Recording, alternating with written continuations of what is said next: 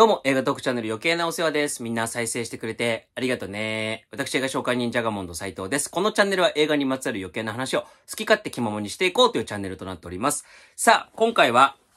ででーん、ネットフリックスオリジナル、セーヌ川の水、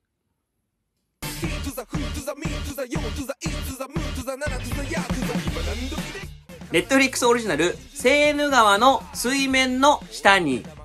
はい、ということで今回は絶賛配信されております、フランスのサメ映画、えセーヌ川の水、水面の下にという映画でございます。なかなかね、ちょっと、日本語タイトルが覚えづらいっちゃ覚えづらいんですけども、これあの、このタイトル、あの、映画が終わると、ラストね、のカットを見てると、なるほど、そういうことねって、ちょっとね、あの、う、うまいって思ってしまうタイトルでもあるので、えーぜひ、私も含めて覚えていきたいと思っております。はい。えー、結果から言いますと、この映画、大傑作でございました。はい。めちゃくちゃ面白かったです。えー、まあ、サメ映画なんでね、もちろんその、サメ映画見ないよっていう方もいると思いますし、あとあの、サメ映画ね、こんだけ大量にこう作られてるので、やっぱりこう、えー、頭が2つあるサメとか、竜巻と一緒になんか上がってくるサメとか、えー、トイレから出てくるサメとか、いろいろこう、まあ、サメ大喜利がね、サメが大喜利っていうのがバーって乱立する中で、やっぱりこう、ちょっとね、そういうものだって思っちゃってる方、えー、とかはですね、ちょっとぜひ見ていただきたいと言いますか、えー、誤解を恐れずに言いますと、本気のサメ映画です。はい。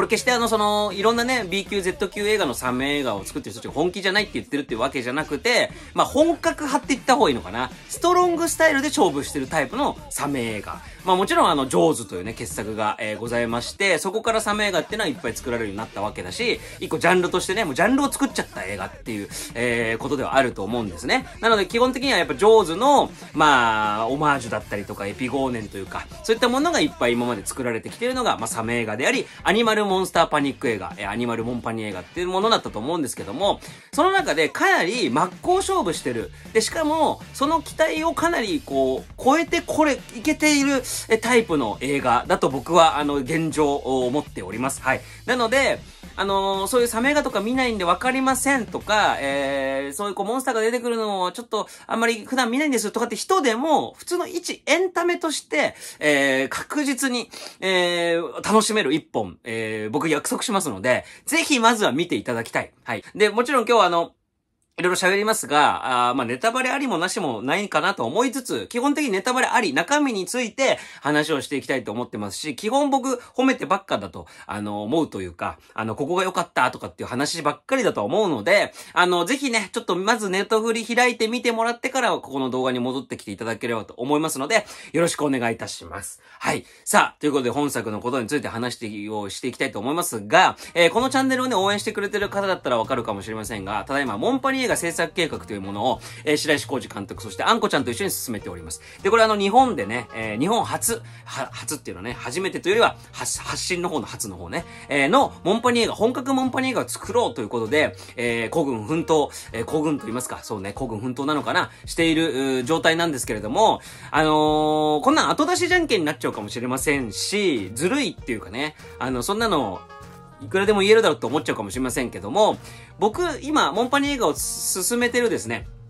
我々が志してたタイプの、えー、モンパニー映画にとても今回、まあ、近くて、それで僕が一個グッと上がったというか、やる気も出てるというかね、お負けてらんないぞって、えー、思った気持ちにも、まあ、こんなのおこがましいんですけど、一、えーただの映画ファンがね、おこがましい発言ではあるんですけれども、えー、ちょっと、それぐらい、あの、近しいところも結構あったというか、えー、いいねっていうね、そうそうみたいなところがあったりしたので、えー、かなり僕は上がっている状態でございます。ざいますはい。はい。で、じゃあまあいろいろね、順を追って、えー、まず話を、えーしていきたいと思います。えー、まあまずですね、冒頭でダーウィンのね、えー、進化の話が出てきましたと。えー、強いもの、弱いもの、うんぬんかんぬんみたいなね。一番強いものっていうのは進化し続けるものなんだ、的な引用がね、はまーっと入るわけですよ。ね。コカインベアでウィキペディアのね、あれが入っててめちゃくちゃ笑いましたけども、今回はちゃんとダーウィンのね、えー、引用が入ってる。で、引用が入ってですね、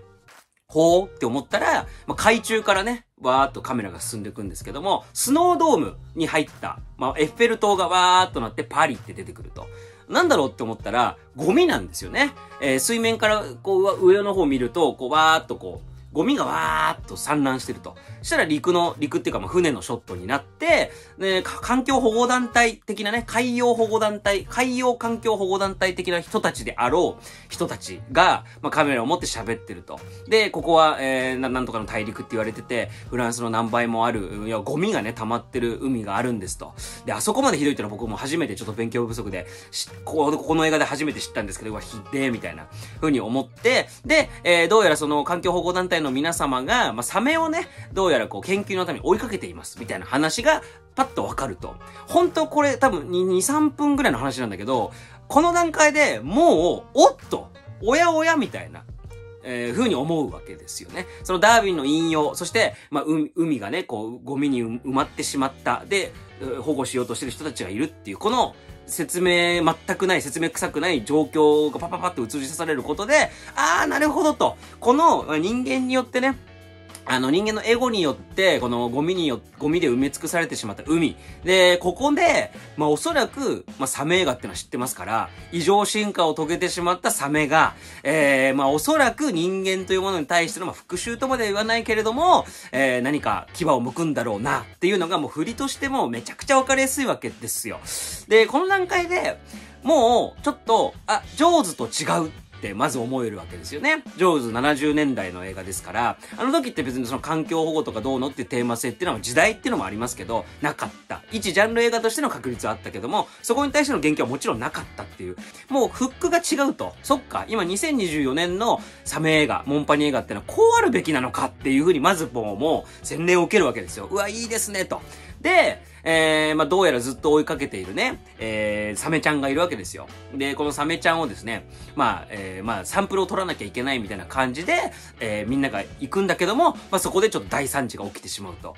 サメがね、その、ただ食うとかだけじゃなくて、僕がすごいいいなって思ったのは、あの、主人公の女性がね、追いかけてた、こう、立ち向かっていこうと、こう、した時に、水深バーっと深く、まあ、潜ってっちゃうんですよ。えー、アーロン線の三次状態ね。で、血がプーって出ちゃうっていうところがあるんだけど、あれもさ、要はその、例えばまあ噛まれてちょっと怪我を負ったじゃなくて、えー、ゴミが引っかかって、ゴミがサメに引っかかってて、おひれかなんかにね。で、そのゴミが、その主人公の足にも引っかかっちゃって、一気に、えー、深く、水深くボーっといっちゃうと。ゴミが一個理由になってるってところもめちゃくちゃいいし、で、そこでこう、まあ、いわゆる潜水病みたいなことなんでしょうかね。主人公がなっちゃったっていうことも、やっぱうめえな、みたいな。正直今回の映画も別に最悪なくてもいいんですよ。要はその、友達仲間が失ってしま、失われてしまった、サメに殺されてしまったというトラウマが、主人公の火星になって、まあ、この映画の場合は3年後になりますけど、その3年後も、え友人の死を引きずってる。で、水、あのね、水族館みたいなところで子供にもなんか囁き声で噂されちゃったり、いじられたりとかして、う、あの時のことを思い出しちゃった、みたいなことで十分なはずなのに、その、心だけじゃなくて体に見える、えー、もの、傷を背負ったっていう。それがただのこう切り傷とかじゃなくて、鼻血が出てきてしまうみたいなね。そういうこう描写になっているっていうのが、まあ、もう一個ね、その、素晴らしくって、で、こう、そこがやっぱりこう、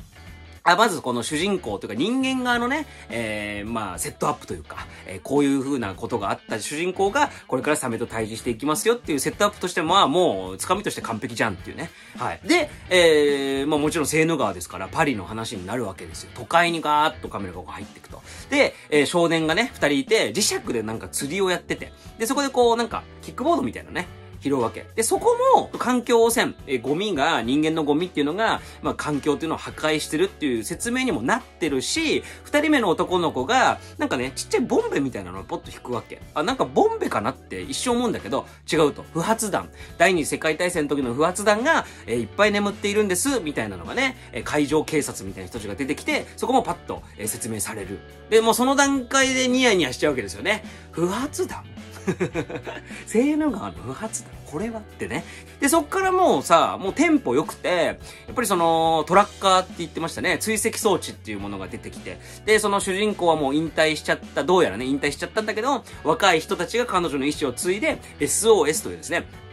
組織を作って、えー、サメちゃんを保護しようとしていると、えー環境保護をしようとしてる若者たちがいるっていうね、えーまあ、要はアクティビストみたいな、いわゆるアクティビストみたいな人たちですよね。っていう部分がこう、バーっと、分かりやすく入ってくる。で、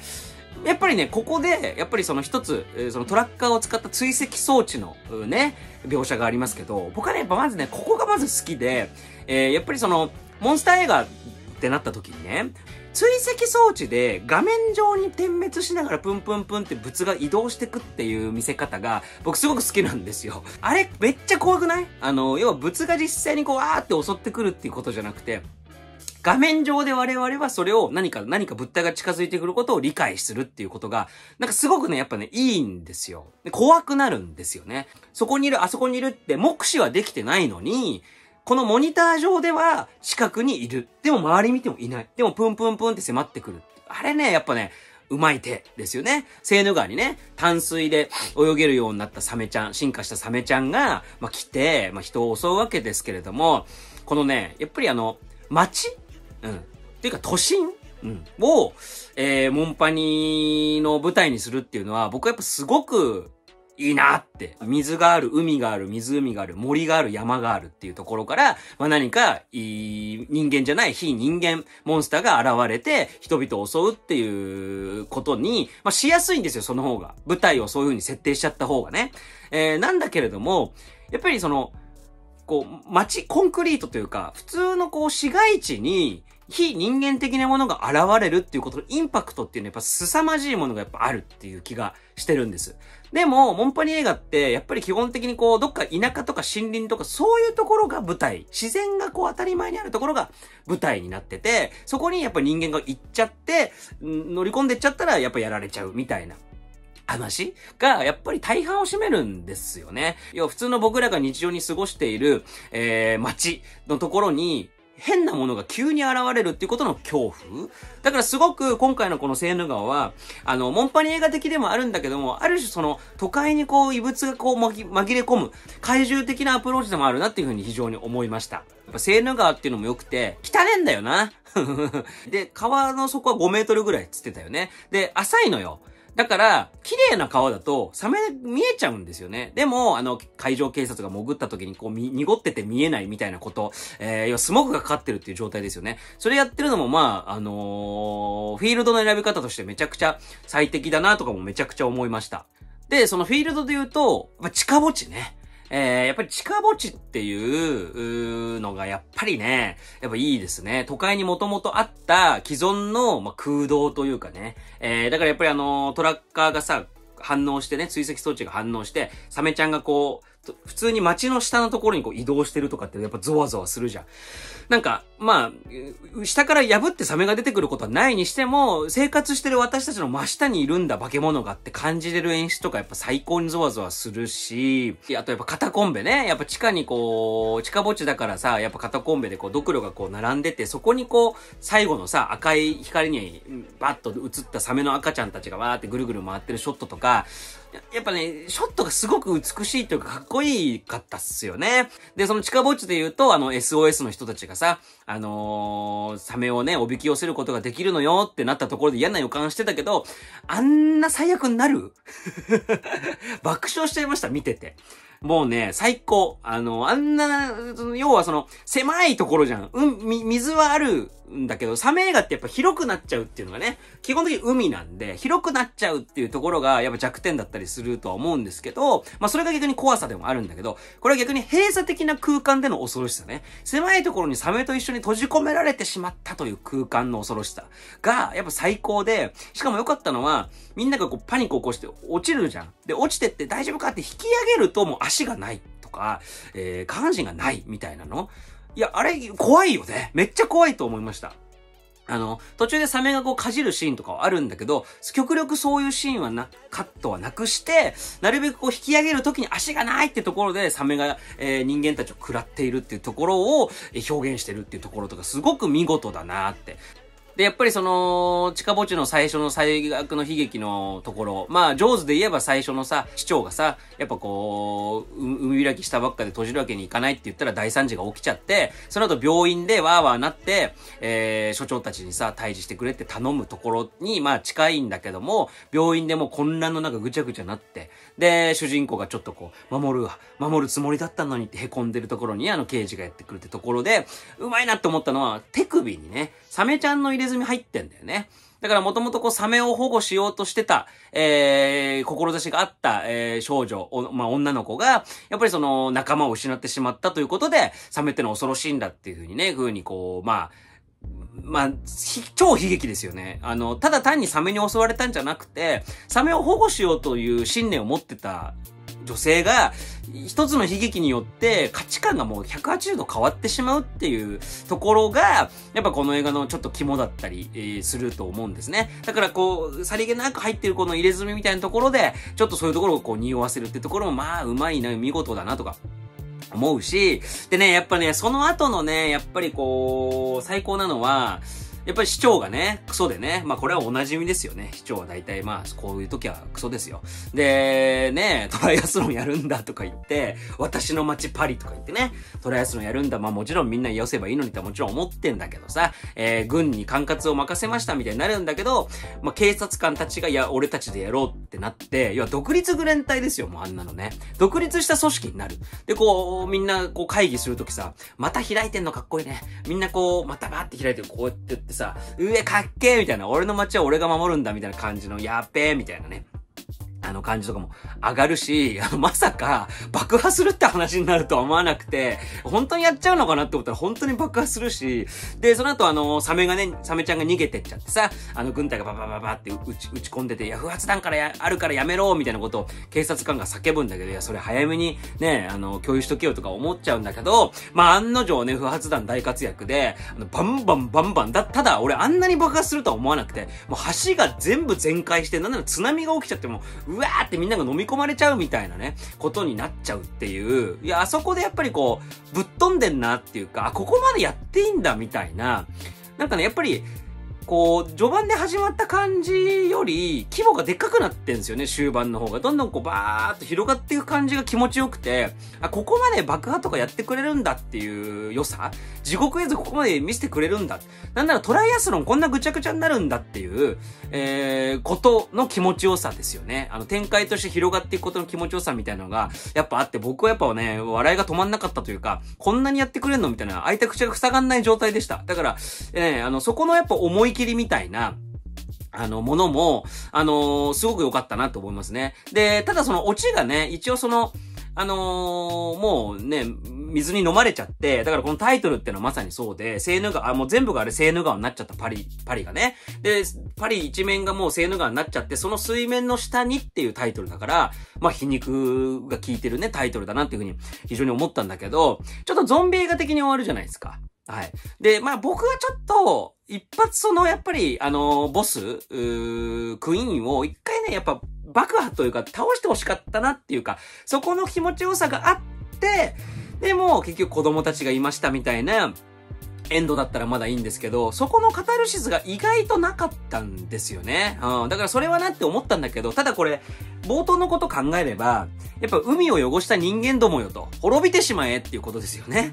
だからそういう意味では、まあ、サメ側の人の気持ちよさサメカタルシスみたいなことはあるのかと。そっち側に肩入れしてればね。だそこは、まあいいのかなとは思いましたが、うん、だからそこもね、だからジョーズと変わったこう時代を経て変わった気持ちよさだったりするんだなっていうか、あのー、いう気もしました。要はあの、サメ側が勝利して終わるっていう、えー、もうほぼディザスタームービーですからね、最後ね。あんなことになったらね。だそこはやっぱ価値観の転換なのかなとかは思ったんで、まあまあ別に、そこはそこまで気にならないところでもありました。あとね、やっぱり、あの、SOS の人たちね、環境保護団体が、あのー、出てきて、トラッカーを途中で切っちゃってシグナルをなくしちゃったりとかっていう、まあ、妨害をね、してくる子たちがいるじゃないですか。で、彼らの主張が、のバランスがやっぱりもう、うまくできてるなと思ってて、やっぱりその、途中でほら、サメちゃんが殺されるちゃうさ、ライブラリーフィルムがバーってこう並んで、並ぶじゃない ?SNS にこう流した時にね。で、あそこでやっぱり、うわ人間ってひどいなってめっちゃ思うわけ。SOS の子たち、頑張れって思うのよ。そっちの方が正しいんじゃないかなって。でも、若干、その人間の命と平等だとか言ってるけど、人間の命をなんなら軽んじてませんかみたいな、えー、振る舞いが、多々見れるので、なので、まあ、食われてもいいかな、とはちょっとこう思えるようになってますよね。だから僕最初、その SOS のあの若い子と共闘していく話だと思ったんですよ。だから、これおもろいな、みたいな。三つどもえみたいなね。そのサメを殺したいと思ってる側と、守りたいと思ってる側と、人間はとにかくサメみたいな、そういう話になるのかなって思ったら、あの、近墓地のね、大惨事のところで、もう SOS はもう一気に、えー、幕引きというか退場しちゃって、その潔さもなんか僕は気持ちよかったです。その、要するに、それを引っ張りすぎると、ちょっと社会派すぎちゃうというか、ちょっとこっちもどう見たらいいかわかんないみたいな風にこう進んでっちゃうから、ちょっとこう、やっぱ、ううまいバランスだなって。だから SOS の活動、ちょっと既得の命軽んじてるけど、サメちゃん守らなきゃっていう気持ちもわからんでもねえなーとか思ったら、サメがもう、もう SOS の子たちみんな食うし、あと子供食うじゃん、自分の。そこで、あ、こいつは抹殺しな、しなければって思える。だから心のこう、ぐらつきみたいなコントロールまでうまくいってるな、あっち行ったりこっち行ったりみたいな部分とかもすごく僕は楽しめましたね。例えば音楽ね。音楽もめちゃくちゃ良かったですよね。やっぱりこう、なんていうかな、恐怖映画とかモンスター映画、ホラー映画的な、音楽というよりは、ちょっとアクション映画寄りというかね、うん、アクションつっても、ミッションをクリアしていく系の、うん、チーム系の、えー、アクション映画の、なんかワクワク具合、計画を進めていくみたいな感じのワクワクする音楽も使われたりとか、すごい良かったです。はい。えー、何はともあれ、これかなり、あの、僕は、モンパニ映画の中で、アニマルモンパニ映画の中でマスターピースになる一本だなとか思うし、あのー、いろんなね、サメ映画が、えー、いっぱい作られている中で、やっぱりこう、本気でなんていうのかな、上手を超えてやろうって思ってこうやってる真っ向勝負な感じとか、あの、僕はすごくいい志だな、好きだなって、あの、思えたので、あの、こっからまたね、あのー、多分こういう、この手の作品みたいなものがやっぱこれ、ま、やっぱ結局つ、ね、こうやって繰り返してこう、ヒットしてね。で、繰り返していく中で、どんどんこの、いろんな作品が作られていくんだなって思いますよね。終わらねえなってね。えー、すごくロマンを感じました。はい。なので、えー、日本もね、頑張って、モンパニ映画、一緒に白石監督、あんこちゃんと協力して作っていきたいと思ってますので、そちらの方の応援もよろしくお願いいたします。はい。えー、ということで、えー、見てないけど最後まで見たよっていう方、見てください。ね。えっと、振り、こう、今僕の僕の話聞いて上で、見ても、おもろいと思うので、えー、ぜひ、見ていただければと思いますので、よろしくお願いします。はい。みんな最後まで見てくれて、ありがとうね